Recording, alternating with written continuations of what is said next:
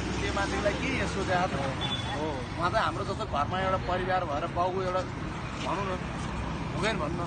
हजुरहरूलाई पनि थाहै भएको कुरा उहाँ त हाम्रो देशकै हाम्रो अभिभावक होइन उहाँले हाम्रो लागि के मतलब गर्नुभयो त?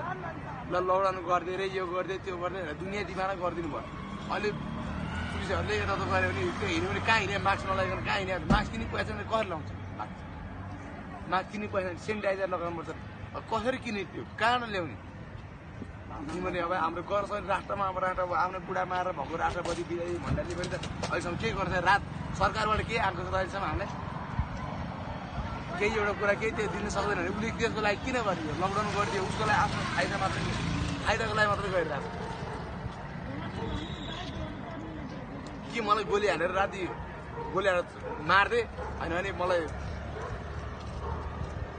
कि मारिदिए कि एउटा।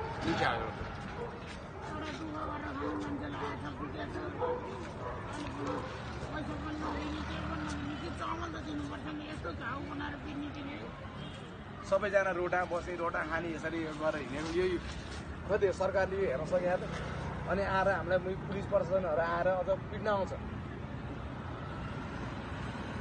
पुलिसहरूले पिट्न आउँछ। पैँतिस वर्ष कहाँ बस्नुहुन्छ अहिले? ए रोडमै हो। होइन पहिलाको घर कहाँ हो?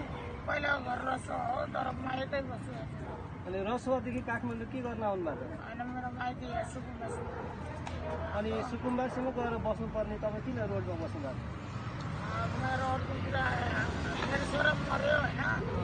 हजुर हजुरलाई धन्यवाद होइन।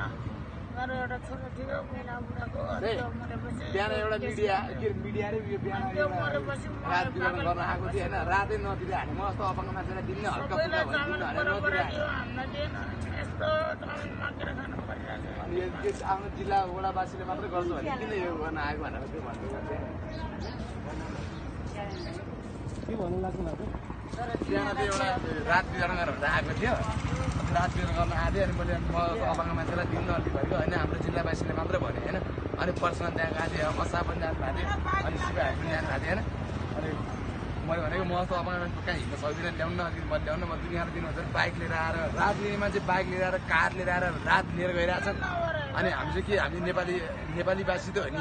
एउटा दिन्न त्यो अनुसारले नि दिन्न मलाई हल्का दिनु भन्दाखेरि केही नदिकन आफ्नो म जिल्लावासीले दिनु भन्दा उहाँले त्यतिकै जान्छ तैपनि मैले केही भने अब मान्छेहरू चाहँदैन भोको मान्छेहरू कति बसिरहेछन् सबै सधैँभरि मान्छेहरू रोटा सुत्ने रोटा खानी गरेर दुनियाँ गरेर हिँडिरहेको छ। त्यो आजसम्म किन नहेरेको थियो? सरकारहरूले यो के तिनीहरूलाई प्रधानमन्त्री बनाएर राष्ट्रपति बनाएर बुढो माडेर मुनि राष्ट्रपति भयो विद्यार्थी भण्डारीले के यही कुरा मात्र सोचेर त्यो ठाउँ पुगे होला तर त्यसले आजसम्म गर्न सकेन गर्न नसक्यो भने किन पुलिस प्रशासन लाएर पिट्ने मान्छेहरूलाई रोटा सुत्न परेन? घर छैन थर छैन नभएपछि सुत्न परेन? त्यो विषय पनि अलिकति राष्ट्रपतिले अलिक ज्ञान जानुपर्ने काना पुग्न पनि हो त्यो अलिक त्यो नभए त्यो यति मात्रै। म त अरू के भएको कुराहरू मैले भन्नु म अपाङ्ग जस्तो मान्छेलाई कहिले पुलिस ल्याएर पिट्ने। राति राति चुरेरमा आएर दिउँसो आएर गरेर छैन राति आएर पुलिस आएर पिट्ने।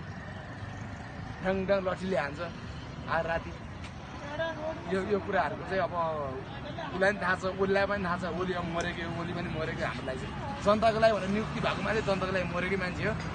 र राष्ट्रपति भयो आज त्यो विजय भण्डारी उसको जे भयो भने त्यही हो। उसले गर्नुपर्ने आफूले गर्न सकेन त्यही हो। अब यो अब अपाङ्ग छु अपाङ्ग भयो भने अब लट्ठी पनि छैन। एउटा के संस्थाहरूले एउटा विधान गर्न सक्दैन अब लट्ठी पनि छैन कहाँ हाल्यो त पैसा एउटा घाट थियो। ल हुन्छ हामी तपाईँको कुरा हामी पुऱ्याइदिन्छौँ होइन? तपाईँलाई लट्ठी पनि आवश्यकता रहेछ बैशाखीको आवश्यकता हो। नाम के हो भन्नु त हजुरको? मेरो समीर भुजेल।